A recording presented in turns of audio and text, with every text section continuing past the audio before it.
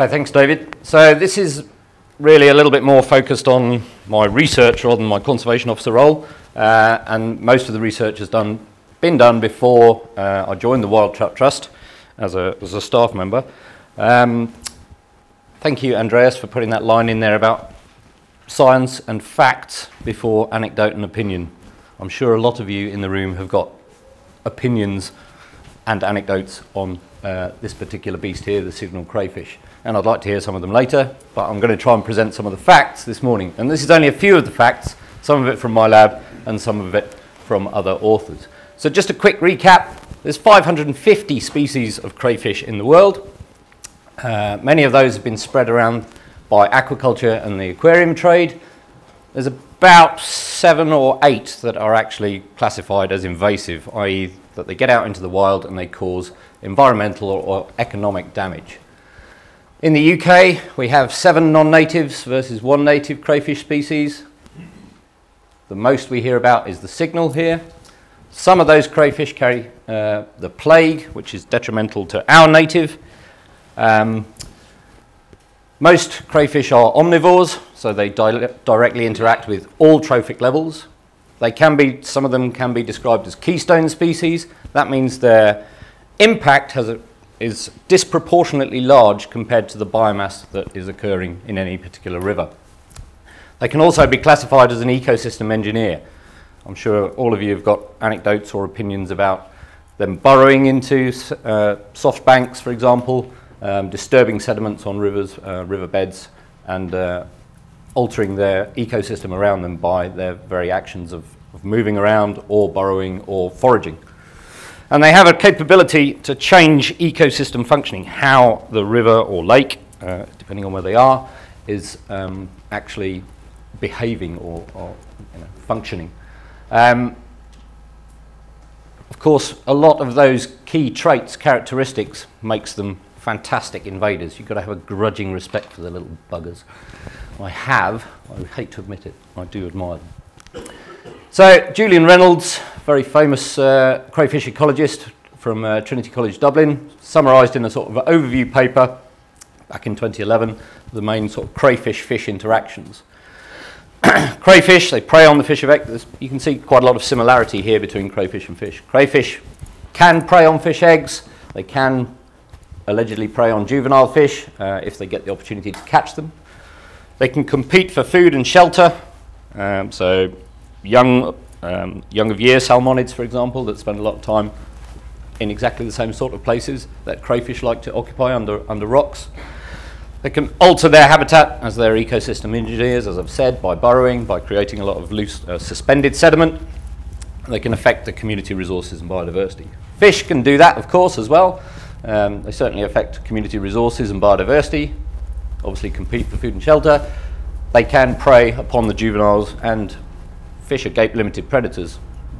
If it fits, it'll go in and it'll go down their throat and they'll use it as a food resource. Um, obviously, they can inhibit it, the foraging behaviour of crayfish by their very presence.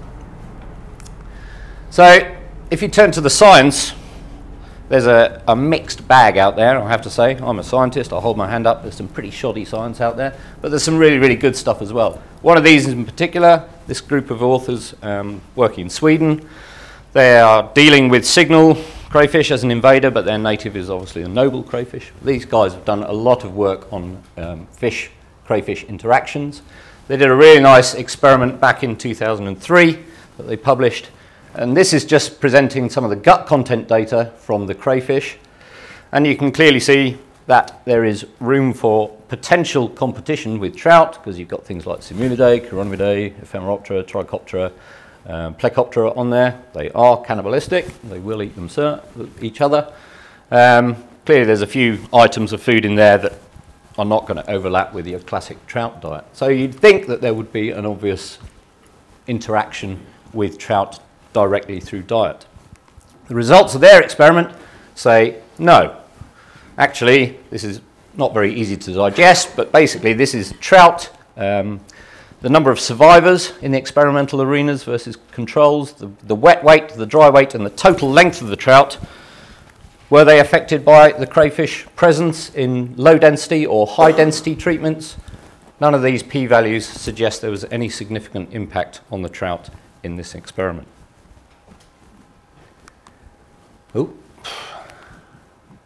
A lot of things which get anglers talking, well, one of the aspects that get anglers talking is this idea of predation by crayfish on fish eggs, particularly salmon eggs and trout eggs, of course. And there is no doubt that they can get at them, but you need to do quite detailed experiments to be able to show this. Um, and this is a really nice group, um, paper from a group at Durham University, Martyn Lucas's group, who have done some really nice sort of size distribution. So this is crayfish carapace length from 6 millimeters right up to 44 millimeters, some pretty large beasts that they had in there, versus the proportion of eggs uh, recovered from the experimental arenas that were healthy. And you can see that 100% of the eggs were in perfectly good condition up until the, the crayfish got above about 16 millimeters in carapace length. And it's when they're absolutely huge crayfish that they can do the most damage. It's not particularly surprising. These, these, the bigger crayfish they are, the more likely they are to be able to excavate the, the uh, redds, for example. What this suggests to me is, of course, that it is an interesting proposition to maintain trapping on sections of rivers with redds. Because if you can trapping tends to bias towards the bigger individuals, and some, may pe some people may come back and say, well, you know, large individuals control the smaller individuals.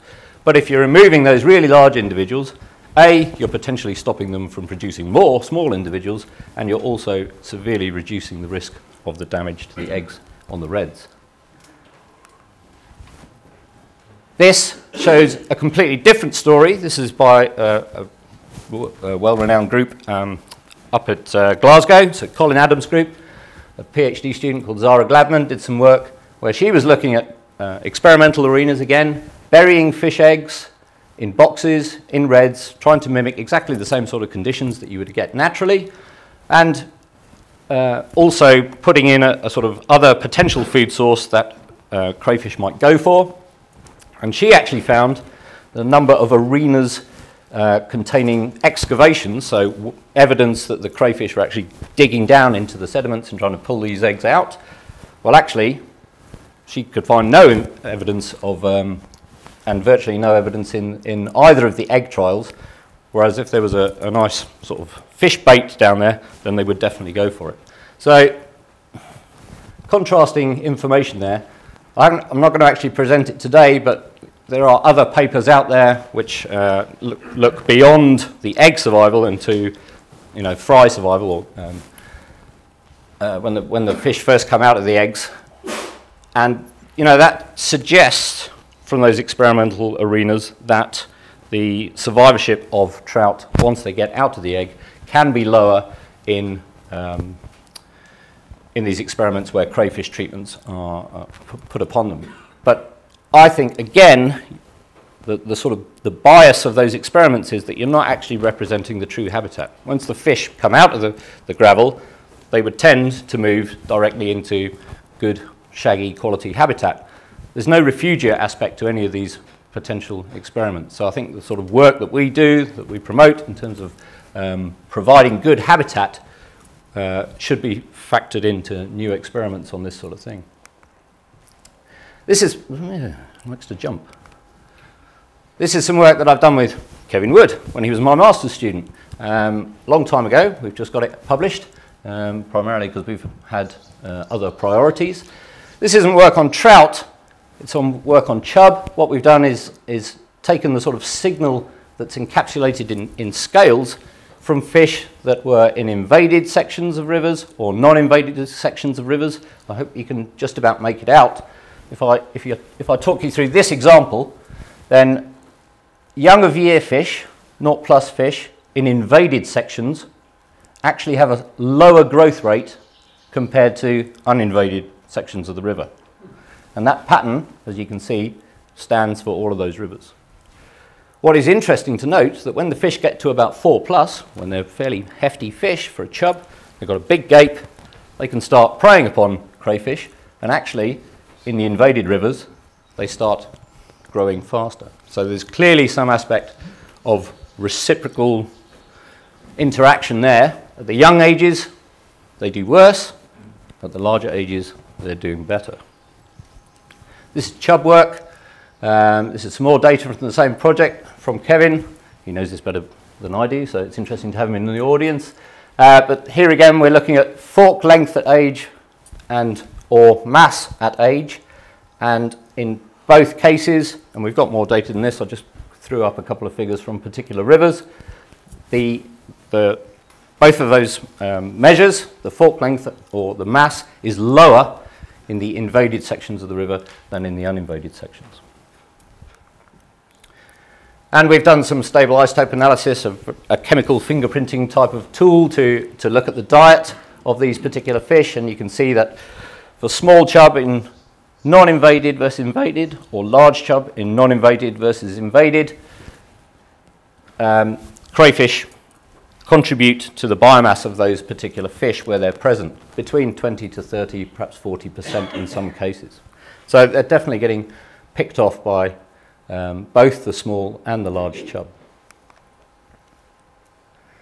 And this is another study that I've done recently with colleagues at Bournemouth and Pete Redding of the Barbel Society, who provided a bit of the funding of this.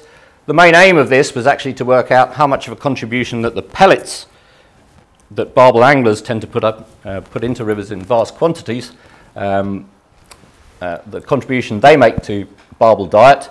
Again, this is a sort of non-invaded river versus an invaded river. It's got the crayfish in there. And this is a, an isotopic map of a food web. Basically, just think about it as coordinates in space. So it's a map of the food web. The pellets have a, an extraordinary signature because they're mostly derived from marine products compared to the rest of the freshwater food web, so we can use it as a cool tracer. And most of the barbel, perhaps not surprisingly, are heavily influenced by the amount of pellet material that's put in by anglers. So about 50% of their biomass is derived from the pellets. Yeah. Any barbel anglers in the room? Anybody want to admit to how much pellet you put in? But interestingly, where crayfish are in the river, barbel are quite happy to prey on the crayfish. There's a sort of, and what's interesting to me is, because all I hear is anecdotes from barbel anglers, that the crayfish are nicking me bait. Well, the crayfish signal is nothing like the pellet signal. So not much of their biomass can be actually being derived from that, which is really interesting, I think. But where the crayfish are, those barbel are absolutely nailing them. And a much higher percentage, something like 70% of the biomass in some of these rivers is derived from crayfish.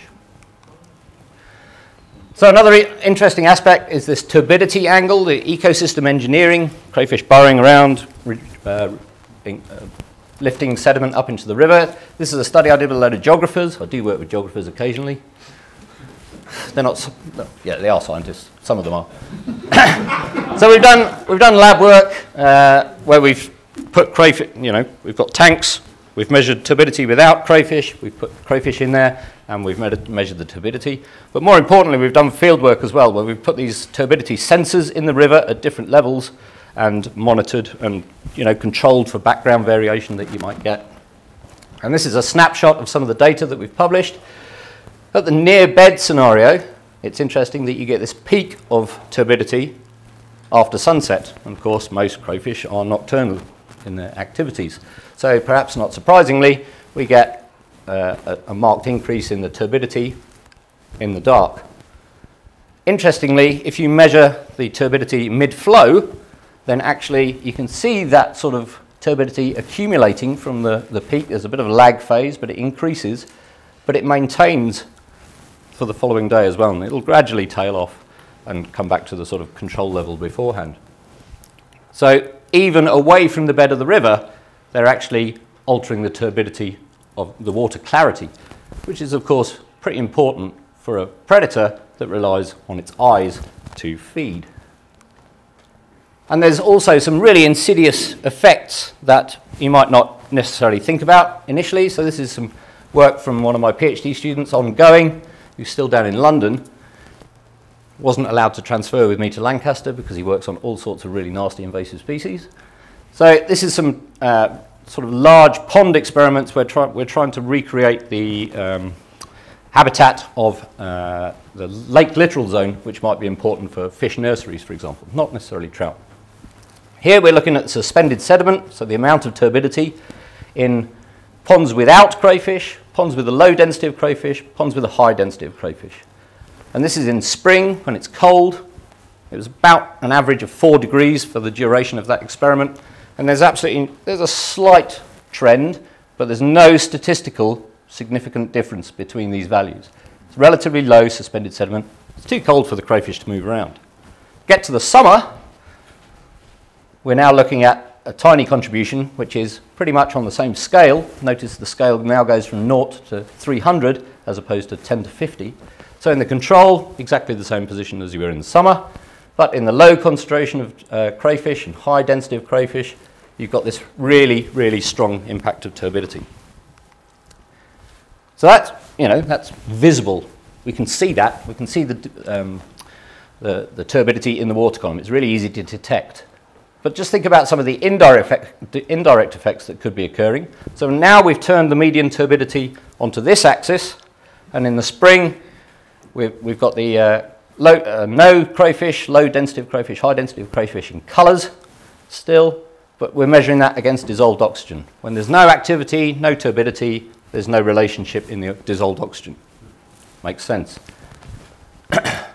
when we go to the summer situation now, you can note that the, all the no, or no crayfish treatments are still up there. They've got the same um, amount of oxygen in the water.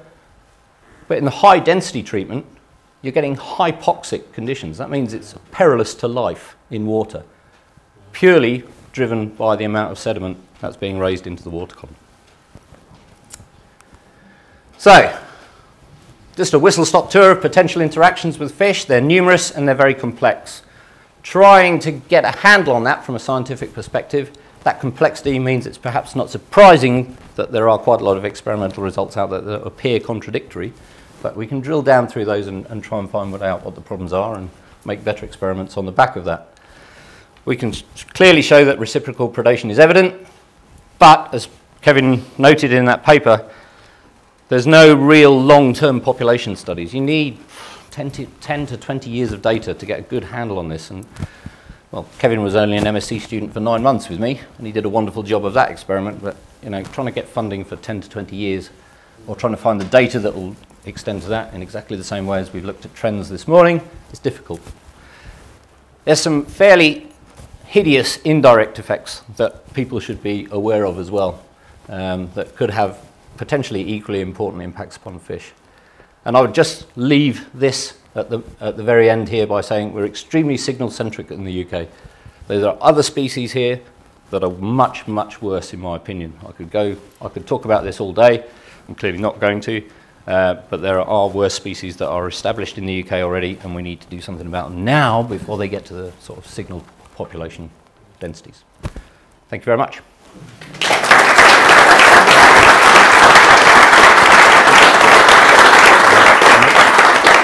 just say if anybody wants any of these papers, I can please contact me and I'll, I'll distribute them freely. Fantastic. Thank you, John. I think that was a, a really fascinating talk there.